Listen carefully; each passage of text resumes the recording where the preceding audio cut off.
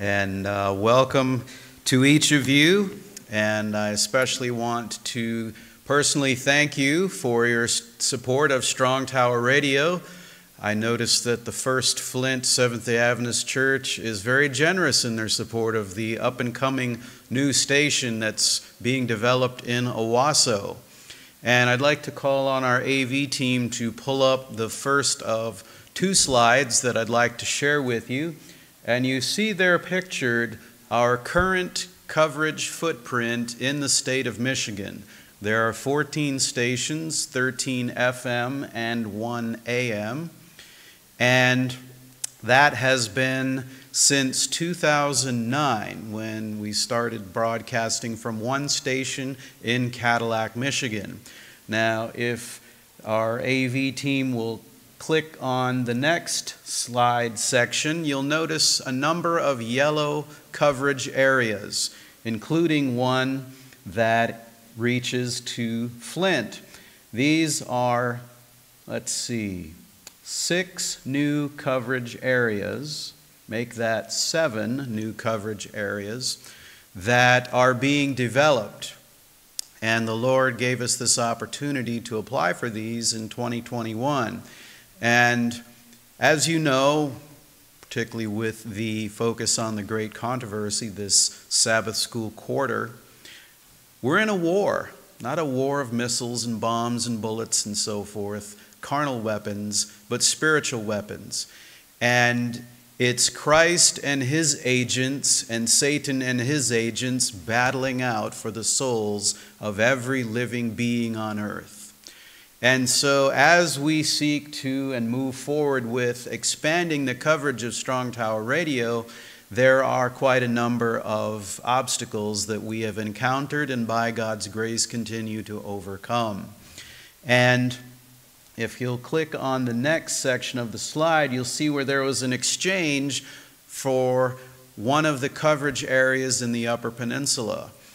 We have an existing station, WUPJ, that it's a 100,000 watt signal and it covers quite a large area.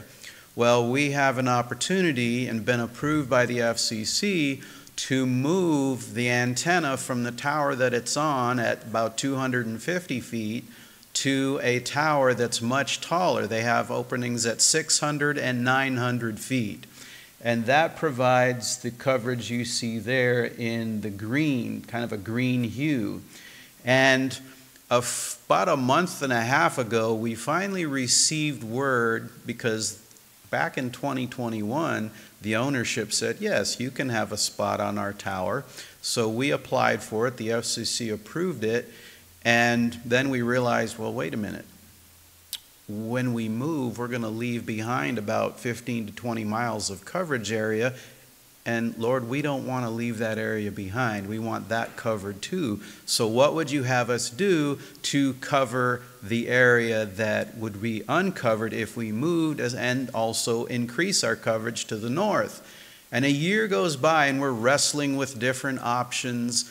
And then the Lord brings about a telephone call and an email from a entity who had been granted a coverage, a license, or excuse me, a construction permit for coverage in Iron Mountain, which reached down to the area that we would be letting go if we moved.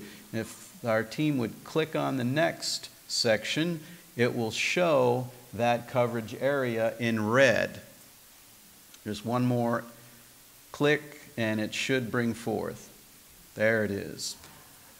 And so you see, we had applied for coverage in the Iron Mountain area, but another entity had been granted it instead. And a year goes by, and they call us and say, We have some struggles internally with our team, health issues. We can't move forward with this construction permit. Would you like to purchase it for our cost? $13,000. That's a lot smaller price tag than going and buying an established station on the market. And so the Lord provided the funds, and we are closing on that purchase this week, I believe it is. There's been some back and forth with the fine print and the lawyers, but it's moving forward. Well, about the time all that gets squared away, we get notified by the owners of the tower. We'd been asking them, hey, we're ready to move forward. What, what are the details? We need to work out a rental rate and what are you looking for? Well, they finally got back with us and they told us, oh, yeah, we want $7 a linear foot.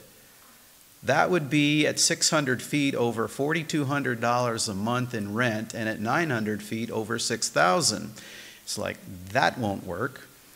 And so this week I typed up an email to our contacts there responding to their telling us $7 a linear foot. And I said, you know, we're a small nonprofit and we currently have an operating budget annually of about $600,000. Would you consider $3 a linear foot? And we received a response just acknowledging that they received the email and they would investigate. And so I thought, well, that's interesting. I guess they have to run it through their, their authority chain and, and see what happens.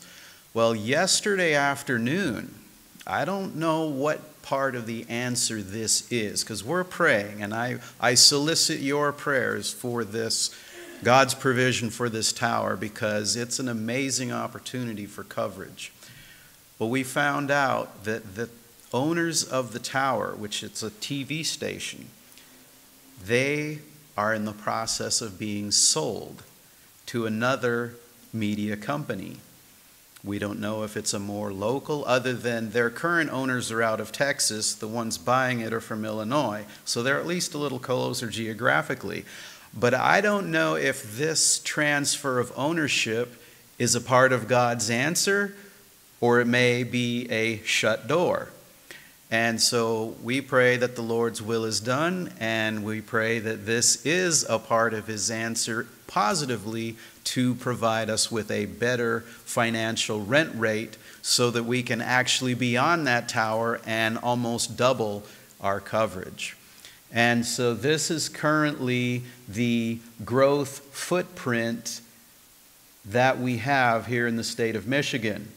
Now, I'll ask for the next and final slide, and that is a more detailed picture of the coverage from the 10,000 watt Owosso station that will reach first Flint, this area, as well as up to Saginaw, over towards Alma, St. John's, and almost down to Lansing. And we have had some challenges here, and we have finally been able to order the transmitter and the antenna. We had to finally go to a place in Italy Of course, we didn't travel there, we just dealt with them by phone and email. And they're able to actually construct the antenna that will work for this coverage pattern that you see. It's kind of shaped like a kidney bean because certain areas have to be protected from other adjacent signals. The uh, communications area is quite managed by the Federal Communication uh, Committee and Commission. And so our the manufacturer in Italy has been dealing with some troubles this winter. They've had a lot of storms. The storms have had some fatalities, and their field test area where they have towers, they put these antennas up on towers and test them to make sure that they actually achieve the desired coverage. And so they've been having some delays with the weather that have put set them back, but we're praying that they are finally are now able, they said, to get to their test fields and do these tests so they can ship the antenna to us within the next week or two. The transmitter, which is being manufactured lo- uh, not locally but domestically, is nearing completion as well. And so we're expecting to receive both of those within the next week or two so that we can then begin constructing on the ground. Once we have everything put together, then we can tell the FCC we've completed the construction permit. Now we're ready for a broadcast license. And the FCC takes about 45 days. They go through everything and review it. And if they don't find anything, which a lot of times they don't, then they issue us an eight year broadcast license, at which point we can flip the switch and begin broadcasting from the new station, which will be 88.7 FM. And so we praise the Lord for his provision, the funds that have been given, and that we're able to move forward with this new station. And again, thank you for your continued support of this radio ministry as it will begin very shortly to reach this region with the everlasting gospel of Jesus Christ 24 7, 365 days a year. And what kind of experience will you get to look forward to with that? Well, let me share with you amazing testimony from our sister church, Sister to here, in uh, Kalamazoo. Shortly after WMJC began broadcasting Strong Tower Radio in the Battle Creek, Kalamazoo area, a lady began listening. She had found Strong Tower Radio on her radio dial as she drove to work. And she began listening. She was attending a Lutheran church and she was listening and hearing things she'd never heard before. And she had Bible questions that neither her Baptist church growing when she was growing up in that church nor her Lutheran church were able to answer. And she wanted answers to the Bible questions that she had. And as she's listening to Strong Tower Radio, not only is she receiving answers from the, for these questions, she's also realizing wait, there are things I didn't even know about the Bible wow, I need a church family like this. Well, then COVID hit in force and all the churches shut down. And it was actually, I got two stories mixed up. She started listening after COVID had started because we didn't start broadcasting till July of 2021. And so COVID had been doing its thing for a while, and the churches were still, were still shut down in some instances. And she was impressed not to go back to her Lutheran church. No particular answer was provided. She was just impressed not to go there. And she said, Lord, I need a church family. And this went on for a while. She was listening to Strong Tower, learning, and said, I need a church family that keeps the Sabbath. And she was convicted on the Sabbath number of other things. And so one Friday, one Friday afternoon, she has this amazing and precious habit of talking out loud to the Lord. And she says, Lord, I'm going looking for a church. Are you coming with me? And so she had a plan. She was going to drive around Kalamazoo, and the Lord was going to point, not point, but indicate to her, This is the church I want you to attend. Well, that was her plan. And she drove around for an hour or more. Nothing. Went by so many churches, not a word. She's like, Man, I'm sorry, Lord. I've wasted an hour of your time and this fuel. I'm done. I'm going home. So she turns onto Nichols Road just after saying that. She's like, She's done. She's going home. Well, Nichols Road, if you know Kalamazoo, that's the road on which the Kalamazoo Seventh day Adventist Church sits. So she's driving down Nichols Road. She's not thinking about, okay, Lord, point me to the right church. She's going home. And as she's driving by Kalamazoo Seventh day Adventist Church, she says, I don't know what happened.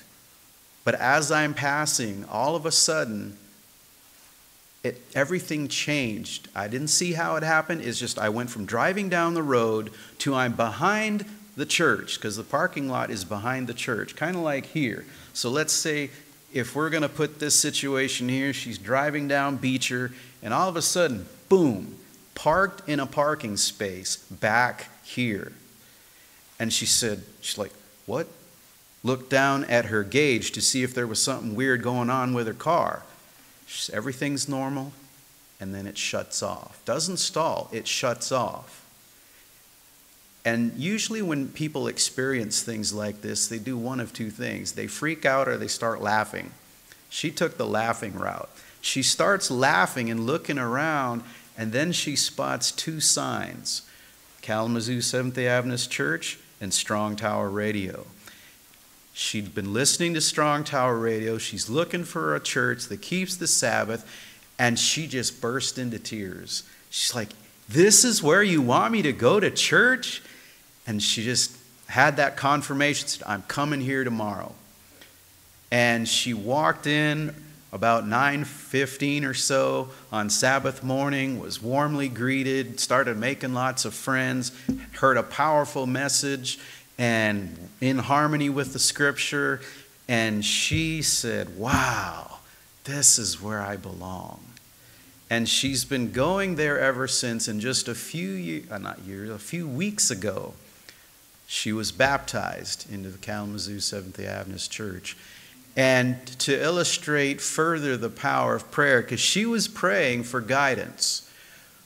But what she didn't know was that the Cal- members of the Kalamazoo Church were praying for a Strong Tower radio listener to come to the church. They said, Lord, all the, so many of these other churches have Strong Tower radio testimonies. Some of them have multiple Strong Tower radio listeners who've walked through the door and joined. We want a Strong Tower radio testimony. We want a Strong Tower radio listener. They had started praying a few weeks before. So you've got all these people praying. And Lord says, I can bring you guys together because when we pray for others, especially for others, it authorizes God to work in a more mighty way on their behalf. Because we, as I mentioned previously, we are in a war, and it's a war for free will beings. And so, as we pray, as we uplift someone or many someones to God in prayer, it gives him greater authority to work in their lives because he's not going to kick the door of their heart in. He's going to knock as a considerate, loving Savior and say, May I enter?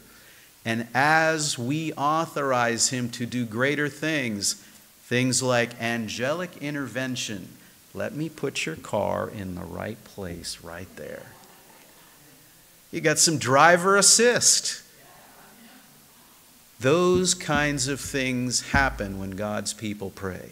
When we seek the Lord on behalf of others, and when we seek the Lord on behalf of our own spiritual need, it authorizes God to work in a greater way. And so we praise the Lord.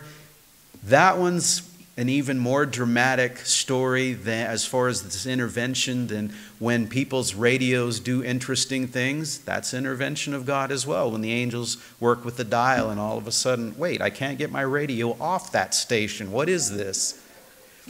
And so we have we have testimonies like that and it's just it's such a wonder and a blessing to work in a with a ministry and to work with you. That's an integral part of working with this ministry to reach people with the everlasting gospel, the full truth as it is in Jesus. And radio is a tool in the hands of God's people to exponentially expand their outreach. It goes to every door 24 hours a day, seven days a week. We can't do that by walking door to door. We might reach them once, one door, one, each door one time a decade. And that's if we're really hustling. And radio reaches people every day where they are. And so I have brought some new sharing cards, and these actually have both the existing broadcast stations and the upcoming stations on it. Now, we also have bookmarks, but I didn't bring those because sadly, we did not catch a spelling error on one of the station names, and it's somewhat close to this area. Port Sanilac got misspelled, and it says Port Sonilac. And so we are in the process of correcting that mistake. But meanwhile, we're sharing the, the bookmarks that have the misspelling in other parts of the state that are not as in tune with that misspelling. And so you can find these sharing cards in the back under to the lower right in the cubby there in the foyer. And so again, thank you for your generous support of Strong Tower Radio. we look forward to actually broadcasting here very shortly. And before I open the Word of God with you this morning, I would like to, not only like to, I need to go before the Lord in prayer. And so I will use this mic here to do that.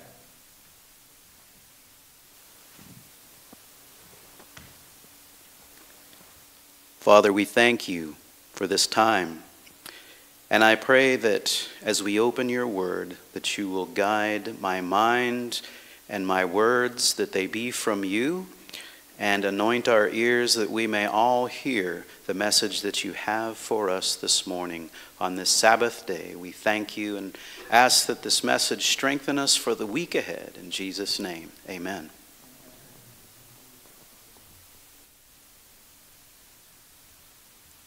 So, a lot of you, I'd imagine, are fairly familiar with the solar eclipse that happened earlier this week, and that there was a lot of lead up to it. And it was interesting, it is interesting how we have such an ability to forecast weather and even outer space events like planetary align- alignment and its impact on Earth.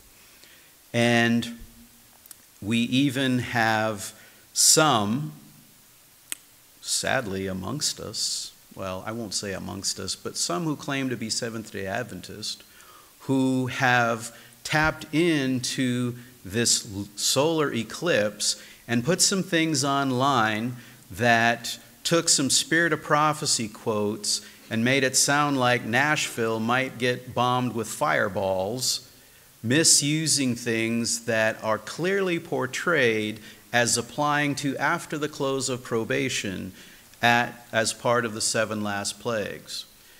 And, well, they accomplished their goal. They had over 10 million hits. And the sad thing is, well, let me take that back. Number one, it was very good that the eclipse happened with nothing spectacular beyond simply the two bodies passing by one another. No fireballs fell from the sky, none of that.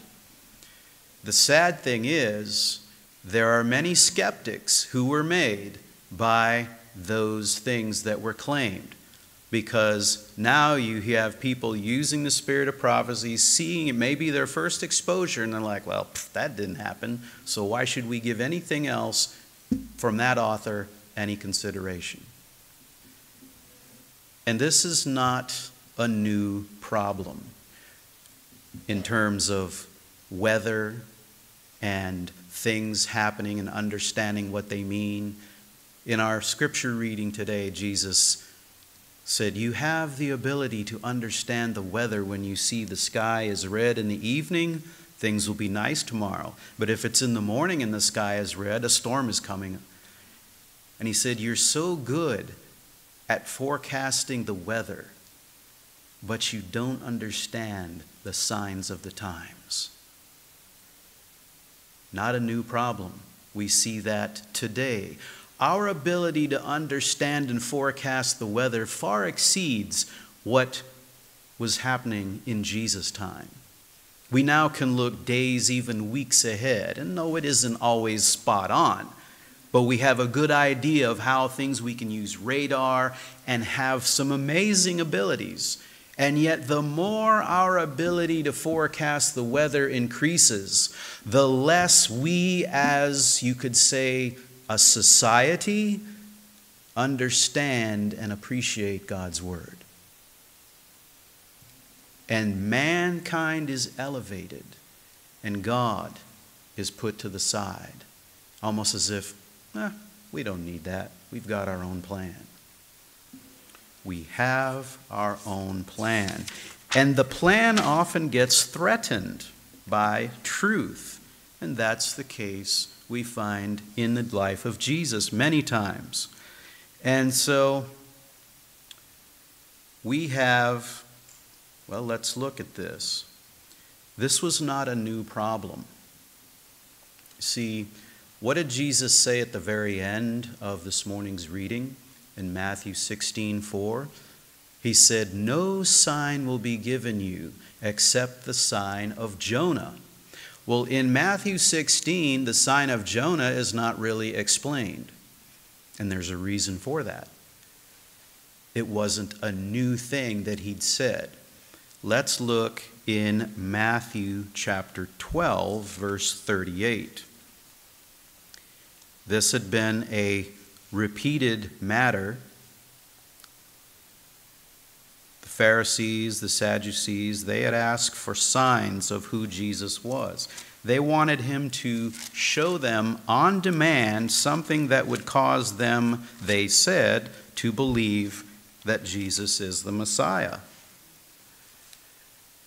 Yet so many signs had already been given, and Jesus was fulfilling hundreds of prophecies before their very eyes. And the very ones who were understood to be experts in the Old Testament, which was the only Bible they had to that point in time, the New Testament was literally being lived out right there to be written shortly thereafter. Their expertise did them no good because they were looking through an unsanctified lens, and instead of seeing Jesus as the fulfillment of all the promises of the Messiah in Scripture, they were seeing him as a threat to their empire, if you could call it an empire. And so here in Matthew 12 38, says certain scribes and pharisees answered saying master we would see a sign from you but he answered and said to them an evil and adulterous generation seeks a sign and there will be no sign given to it but the sign of the prophet jonas for as jonah was in the was three days and three nights in the whale's belly, so shall the Son of Man be three days and three nights in the heart of the earth. And then in verse 41, we see another part of this sign of Jonah. The men of Nineveh shall rise in judgment with this generation and shall condemn it. Why? Because they repented at the preaching of Jonah, and behold, a greater than Jonah is here. So, what is the message of the sign of Jonah? It's not balls of fire coming out of the sky when an eclipse happens, as was portrayed as a possibility leading up to last or this the eclipse earlier this week. No, the sign of Jonah is about resurrection and repentance. We need, what is required for us to be in the first resurrection? We need repentance. And what is required to have resurrection? The power of God. It's actually required for both. The goodness of God leads to repentance. The power of God is required for resurrection. And so these are the true meaning of the sign of Jonah, not some weather event. And similar problem, and God would give them a sign. It wouldn't be one they ask for, though. It would be in His timing and His way, and it would be unmistakable and that this sign would show the motives of everyone internally out in the open. Let's turn to John chapter 11. It's the story of Lazarus.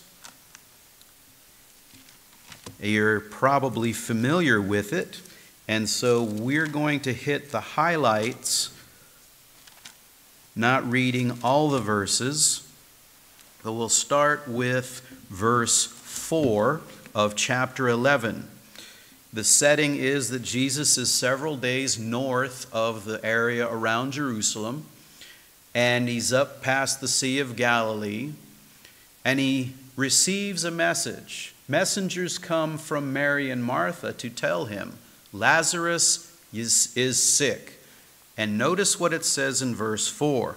When Jesus heard, he said, This sickness is not unto death, but for the glory of God, that the Son of God might be glorified thereby.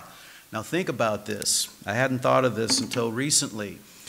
The messengers come tell Jesus, he tells them this. Oh, that's good. We'll go back to Bethany now. this sickness will not result in death. Imagine what they must have experienced when they returned and heard that Lazarus had died. Jesus got it wrong. Lazarus died. He said this was not unto death. Opportunity for doubt. And then, in verse 11, Jesus says, And after these things he said unto them, Our friend Lazarus sleeps, but I go that I may wake him out of sleep. And then the next couple of verses, the disciples express their misunderstanding that, oh, Lazarus is sleeping, he'll do well. And Jesus makes it very clear to them what he's talking about. And in the process of that experience, teaches us a very important lesson. He says, Lazarus is dead. Death in the first death in the Bible is equated to a sleep. You wake up from a sleep. Everyone will be resurrected. The question is, what resurrection will you be in? The first unto life or the second unto death? It's an important question we each are faced with daily. How we live our life day by day, decisions we make form characters that will determine what resurrection we wake up in. And not that we can accomplish this in our own strength. It is looking to Jesus, the author and finisher of our faith, and seeking His power, His grace to live by every word of God. This is the Word of God. It is to be our guide in life as the Holy Spirit gives us understanding. And so the disciples were confused and Jesus, in clearing up their confusion, also helps us today to clear up a confusion of what happens when a person dies. And we'll talk more a little bit about that in a few minutes. And then Jesus says something very interesting, must have made the disciples really scratch their head, because he had said this sickness was not unto death. They heard that. And now he says Lazarus is dead. And then he goes on to say in verse 15, I'm glad for your sakes that I was not there, to the intent that you may believe. Nevertheless, let us go unto him. What is Jesus up to? He said, This is not unto death. Two day, couple days later, now he says Lazarus is dead, and he's glad so that we may believe. Wait, you said he's not going to die, now he's dead, according to what you just said, and you think that's going to build our faith? What is up with that? So you've got the disciples, they're just thinking about this, going, What is going on? The folks who took the message back that Lazarus, this sickness is not unto death, they come back, Lazarus is dead. What do we do with that? They've got doubt. They're swirling around in their head. Remember, the Pharisees said, This guy works by the power of the devil. Don't believe in him. The Sadducees says there is no they, there is no resurrection. They didn't believe in it. They didn't believe in a personal God who would raise you up and live with you forever. No, no, no. That didn't fit in their theology. What a hopeless theology that was. And so here they go down on this two day journey. And what happens then? They arrive and find out Okay, Lazarus has been in the tomb four days. They had the practice of burying you the day you died. So the day you died, you entered the tomb. He's been in the tomb four days. That means he's been dead four days. So that's consistent. Now, Martha finds out that Jesus is in the area and where he is. And she just, she's going to go talk to him. So here in verses 21 and 22, she talks to him and says, Lord, if you had been here, my brother had not died. But then she makes this awesome statement of faith. She says in verse 22, But I know, even now, whatever you ask of God, he will give it to you. Do you hear what she just said? You can resurrect my brother now. So Jesus hears that and he tests her faith. Notice what he says Your brother shall rise again. Verse 23. Now, she didn't hold on to that power faith statement. Instead, she went with the more familiar theology that she was used to and said, I know he's going to resurrect in the last day. Even though she wasn't holding on to the now, that's still a principle that's very valuable for us. Because much of the Christian world says, oh, you go right to heaven or hell when you die. Like, nope. The resurrection is at the last day. No one goes ahead of anyone else. And so Jesus says, I'm going to bring you back to the now. He says, I am the resurrection and the life. Do you believe this? It's like, Martha, it's now. Do you believe? And she never answered the question directly. Instead, she says, I believe you are the Messiah who is sent from God. And then she scampers off to go get her sister Mary and tell her where Jesus is so that she can go meet him. And when Mary comes over, now when Martha came, she came by herself. But when Mary comes to see Jesus, all the mourners follow her. And they're making quite a noise in their mourning. And Jesus sees Mary crying. She falls at his feet, says the same thing that Martha did Lord, if you'd been here, my brother hadn't, wouldn't have died. And he looks and he sees all the mourners, and he just groans in spirit. And I envision that it's not didn't just didn't just say groaned in spirit, it said he was also troubled. And I like to visualize things. And I can just see him as he sees this, Mary and all this sea of mourners. And he just, inside, he goes, mm, mm. And then he says, Where have you laid him? And they go to the tomb, which isn't that far away. And the weeping just intensifies. And yet, are they really mourning for loss? Let's turn to Mark 5:39. The same word that is used for weeping in John 11:33 is also used in Mark 5:39. And notice what other descriptions come with this word. This is the scene of the uh, Jairus' daughter, just died and the mourners are there too. So it's the same situation. You have death and mourning. And in verse 39, when he came in, he said to them, Why do you make this commotion and weep? The damsel is not dead, but sleeping. The same word for weeping in John 5:39 is used for John 11:33. So Jesus here is witnessing what is common still to this day in the Middle East and in other parts of the world where you have people who come and they make an exaggerated noise as a means of thinking to comfort and mourn and express loss for the one who's died in the family. And yet Jesus knew that within this group of mourners, there were many who would plot his death in just a few days. Why did he cry? It says in verse 35 that Jesus wept.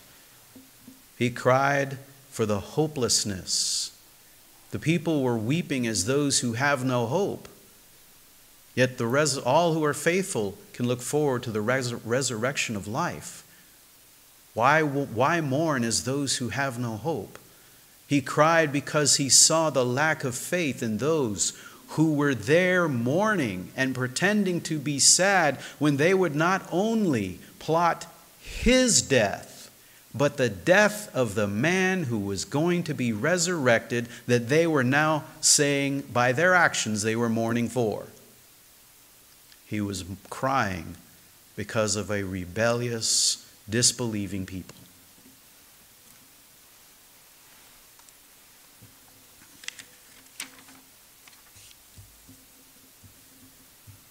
Remember he said, This sickness is not unto death. He knew what was about to happen. He knew that God had called him to resurrect Lazarus. So he wasn't crying for Lazarus, he was crying for those who were unaccepting of truth. But he couldn't he wouldn't spend much time in that experience, and neither should we. You know, there is a mourning for the lost, and we are to seek the lost. Yet in our seeking and our mourning, let us not stop working.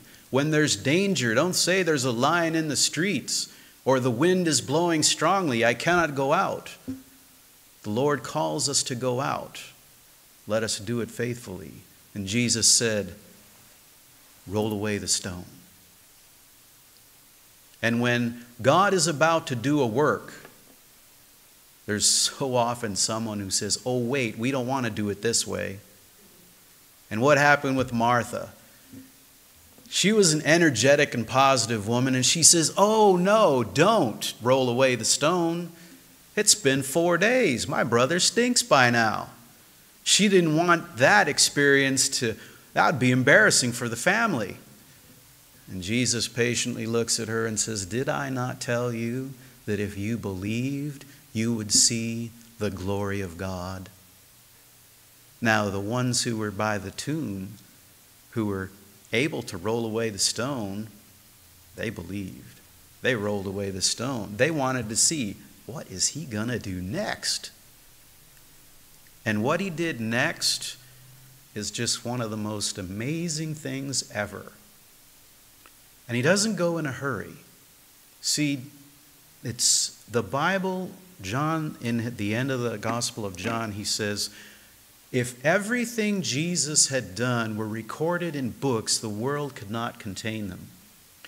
And you look at what has been recorded, and it's so rich with meaning and experience and lessons for us today. And Jesus doesn't just say, Lazarus, come forth. He looks up to the sky and he talks to his heavenly Father, just like we can do today. he says, He's addressing what the Pharisees had said. Because what he's about to do is going to blow the doors off everybody's doubt. And he wants to be sure they understand how it happens. And he says, Father, I know that you hear me always. Back then, when they said that it was by the power of the devil, no, that was you. And I didn't say that. I'm not talking to you now out loud for my benefit, but for those around me within the sound of my voice, so that they may believe that you have sent me. And the unspoken is not only that you have sent me, but that what I'm about to do is by your power. Because in John 5 19, John 5 30, John 8 28, I believe it is, Jesus says, I do nothing and I say nothing, but what I see the Father do, and He directs me to say. And the next thing Jesus says is, Lazarus, come over here, come out. And can you just picture? It's as quiet as it can be. And they're listening. What will happen? And then they hear a rustle and a shuffle. Because they've bound Lazarus fairly tight. So he's got to kind of walk like so. And he comes out and stands in the door. I mean, wow. That's got to be a shakeup of everything you have ever learned, seen, or heard. And Jesus says, Loose him and let him go. And you know, that is the message of Jesus' ministry from the beginning to the end. Remember what he said when he went back to his hometown of Nazareth and he walks into the synagogue and he volunteers to read the scripture and he opens it up to the first verse of Isaiah chapter 61. It's recorded in Luke chapter 4 verse 18. Luke 4:18 He's given the scripture and it says, He reads, The Spirit of the Lord is upon me because He has anointed me to preach the gospel to the poor. He sent me to heal the brokenhearted, to preach deliverance to the captives, the recovering of sight to the blind, to set at liberty them that are bruised or them that are contained in chains, imprisoned. So, deliverance to the captives and setting them free. Multiple kinds of captives captives to sin, captives to fear, captives to lies. He came to set the people free. So, what was the response? Verse 4, back to John 11, verses 46 through 53 record the response to the miracle. Many that day believed on him. But in their belief that what he was doing was effective, many, particularly in leadership, realized they were going to do something. It motivated them to go against Jesus even more. Why would that be? The answer is found in verse 48 where they said they met together, the council, the Sadducees, the, the Pharisees, and they said, If we let Jesus alone, all will believe on him. And the Romans will come and take away both our place and our nation. Our place being leaders of Israel, and then they'll just take away the whole nation which, when you looked at what Jesus said and taught and how he lived, he was a friend to the Romans. Their accusation, their logic breaks down immediately. But that's not the point. They wanted something more than truth. They wanted their own power. They wanted their own way. And they wanted great influence over others. And if it took killing Jesus. And as chapter 12, verse 10 points out, also Lazarus was on their guns, in, under their gun sights. Then so be it. They wanted to preserve it at any cost, even if it meant the lives of others.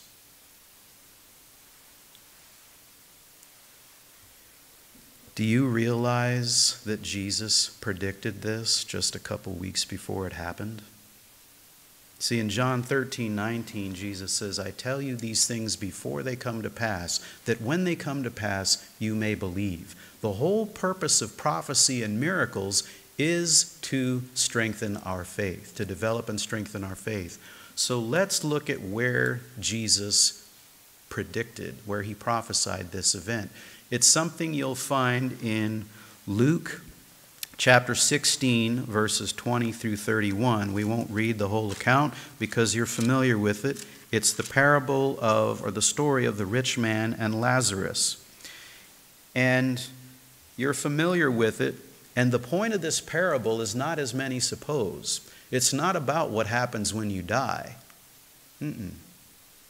It's about faith and the fact that if someone were to come back from the dead, it would not change the belief of the people that Jesus was working with at the time.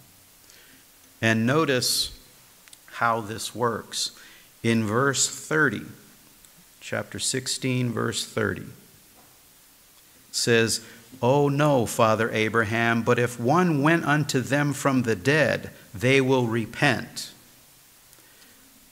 The idea was there was a rich man with five brothers and a poor man, Lazarus. And the poor man, Lazarus, begged, and the rich man never did anything to help him. They both die. And in Greco Roman thinking, you have a separation between the soul and the body. And so many were familiar with this thinking, and Jesus taps into this to teach them the truth about what happens, how life is given. And he, the, the story was the rich man says, Send Lazarus back to warn my brothers, don't live like I did. You can't come back from the dead. You can only be raised from the dead. And you see that in verses 30 and 31. In 30, it says, Oh, but if someone would come back from the dead, they will repent.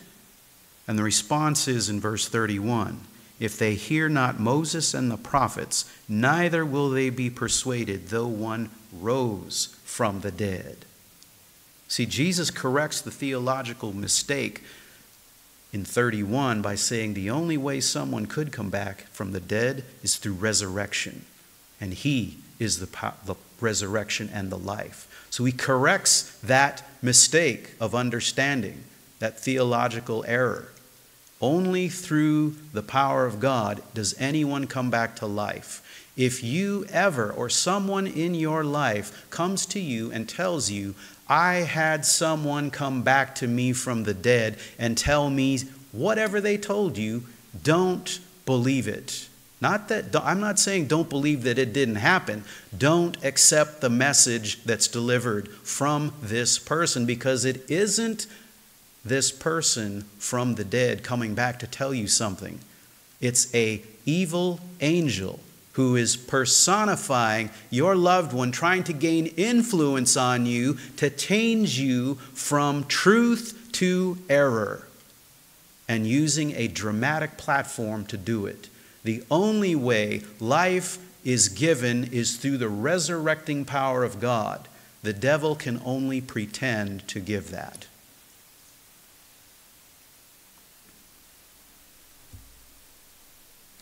And so, what happened in real life a couple weeks after Jesus shared this rich man and Lazarus story? a man named Lazarus is brought back from the dead. And the powerful and wealthy spiritual leaders in Israel did not believe. What did verse 31 say? Though one come raised from the dead, they will not be persuaded. They have Moses and the prophets who point forward to Jesus, yet they didn't believe. Prophecy fulfilled.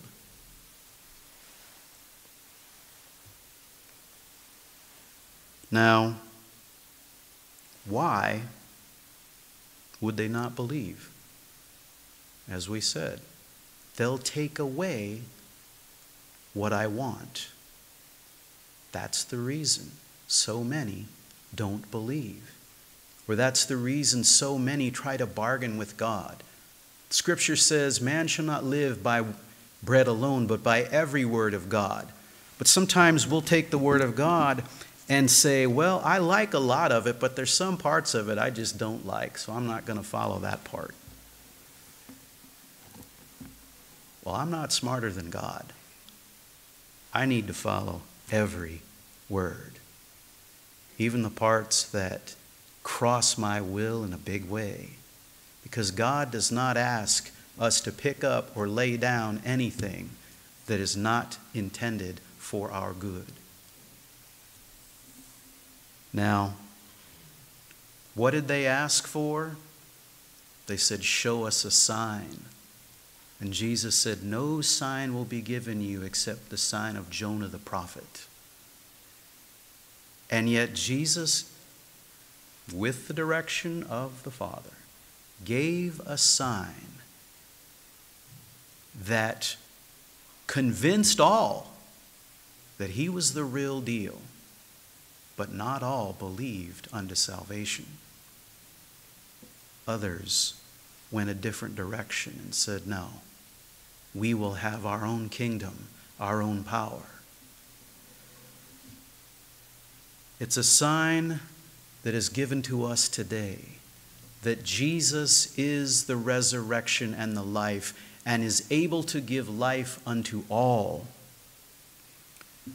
So I ask you today, friend, do you want Jesus to have his resurrection power in your life to give you victory over all sin right now? You see, we hear the statement that sanctification is the work of a lifetime, and it is. But how often we have it portrayed for us as, oh, I'm going to spend my whole life struggling to overcome everything, and at the last minute, I finally get there. I barely crossed the finish line. Is that the kind of victory that Jesus offers us? He offers us victory today, and He offers to sustain us in that victory all throughout the rest of our lives. And we will never be the ones to say, I have arrived, just like Paul wrote to the Philippians in verse 3 or chapter 3 of that letter. He says, I don't count myself to have arrived, but I keep pressing on upward to the mark of the high calling of Jesus Christ. And we are called to that same experience to walk in the footsteps of Jesus Christ and to take hold of his strength. Not my will, but thine be done. Filled with the Holy Spirit, whatever we encounter, he will give us victory. And so, there's nothing better than eternal life with Jesus Christ.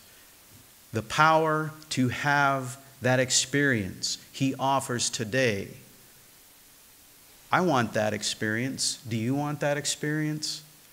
Praise the Lord. Let's pray. Father, you have seen our hands. You know every heart. You know what we're wrestling with.